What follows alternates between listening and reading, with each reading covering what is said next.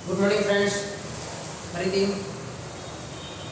તમારી ટેક્સ્ટ બુકની સ્ટેટિસ્ટિક્સના બીજા ભાગની ટેક્સ્ટ બુકની ચેપ્ટર નંબર પાંચ વિકલનની અંદર વ્યાખ્યાની મદદથી એફ ઓફ એક્સ બરાબર એક્સની એન ઘાતનું વિકલન ફળ મેળવવાનું છે. હવે આ ઉદાહરણ નંબર તમારું ત્રણ છે. આના પહેલાં મેં ઉદાહરણ નંબર બેનો અને 1 નો પણ વીડિયો મૂકેલો છે. તો હવે આપણે જ્યારે જોઈએ, એ જ મેથડથી આપણે સેમ ટુ સેમ કરવાનું છે. પણ ત્યાં તમારે ઉદાહરણ નંબર 2 ની અંદર અહીંયા ત્રણ ઘાત હતી, જ્યારે અહીંયા ઘાત આવી ગઈ છે એન હવે તમારે વધારે ઇઝી થઈ તમને એમ લાગતું કે આ તો વધારે અઘરું થઈ ગયું, પણ નહીં, આ વધારે ઇઝી થઈ ગયું કે આપણે ગણતરી ઓછી કરવી પડે. હવે ધ્યાન આપશો, જેમ ત્યાં વખતે કારણ કે પહેલા તમારે જે તમને વિધેય એટલે કે ફંક્શન આપેલું છે તે લખી દેવાનું છે. અને તમને લિમિટ ઉપરથી વિકલનનું જે વ્યાખ્યા મીન્સ કે જેને આપણે સૂત્ર કહીએ, તે સૂત્ર જે છે તે તમને ખ્યાલ હોય કે એફ x જે ફંક્શન છે, તેનું વિકલન કરવો તો એ બીજું આપણને ફંક્શન જ મળશે, જેને આપણે f of, f of x કહીશું. અને તેનું સૂત્ર છે જે લિમિટનો ઉપયોગ કરીને, એટલે લક્ષનો ઉપયોગ કરીને આપણે લેવાનું છે h tends to 0 function h minus f of x જ્યારે છેદમાં અહીંયા જે લિમિટ છે તે જ આપણે આપણે જેના માટે લિમિટ છે તે જ આપણે લેવાનું છે. હવે આ આપણું સૂત્ર છે. સૂત્રમાં આપણે ફંક્શનની કિંમત મૂકવાની હોય તો f ની તો કિંમત છે આપણી પાસે f of x h ની કિંમત નથી. તો f x h ની કિંમતનો અર્થ એ થાય છે કે જ્યાં f x માં x છે, ત્યાં અહીંયા x છે વિધેયમાં, ત્યાં આપણે x h મૂકી દેવાનું છે. એટલે આપણું x h વાળું વિધેય મળી જશે.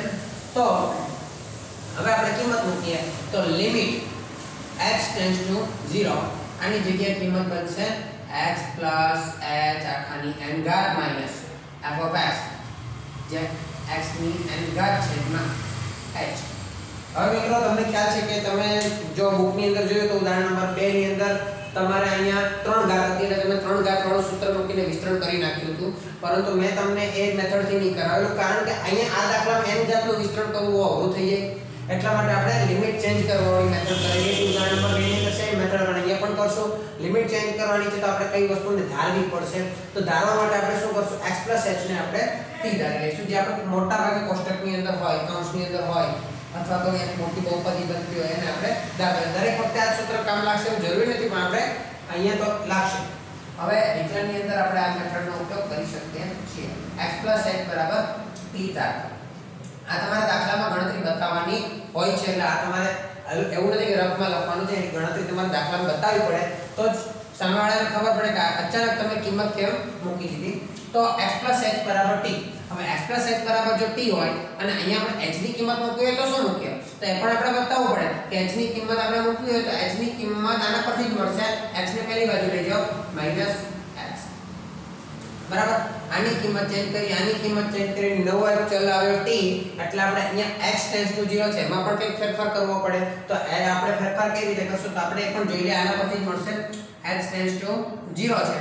તો h ની કિંમત આપણે ખ્યાલ છે કે t x આખાનું ટેન્ડ્સ ટુ 0 થાય. હવે x ને બરાબર નીકળી બાજુ લઈ લઉં? T ટેન્ડ્સ ટુ શું થઈ જશે? X પ્લસ થઈ જશે. મારા બરાબર છે. એની કે સ્ટેન્ડ છે. તો f પેલી બાજુ થઈ જશે. તો t ટેન્ડ્સ ટુ x મળશે. હવે આપણે લિમિટ ચેન્જ કરીએ, તો limit t tends to x. x x ની જગ્યાએ શું મૂકી શકીએ? જો x ટેન્ડ્સ ટુ 0 હતું, એની લિમિટ ચેન્જ કરીને આપણે t ટેન્ડ્સ ટુ x લઈએ.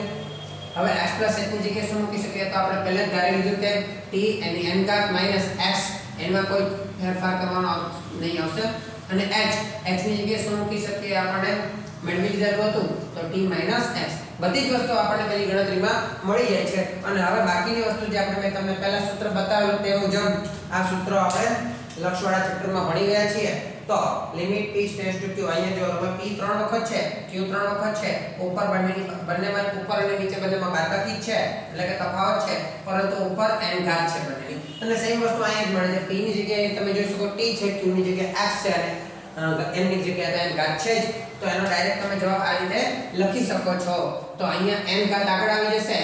x છે x ના સહગુણકમાં અને x ની ઘાતમાં એકનો બાદબાકી કરવી પડશે. એટલે n x ની n 1 ઘાત. અને આ છે મિત્રો તમારું સૂત્ર સૂત્ર મળી ગયું છે કે તમારે જ્યારે પણ કોઈ પણ x ની n ઘાત વાળું પદ હોય, વિકલન કરવાનું હોય, તો તમે ડાયરેક્ટલી n ઘાતને તમે આગળ લાવી અને ઉપર ઘાતમાંથી એક બાદ કરી દો એટલે તમને ડાયરેક્ટ વિકલન મળી જાય ખરું. પણ એ જ્યારે ડાયરેક્ટ વિકલન શોધવાનો હોય તો વ્યાખ્યાની મદદથી શોધવાનો હોય તો આ રીતે જ તમારે મેથડ કરવી પડે. અહીંયા આપણે આ સાબિતી મળી જાય છે.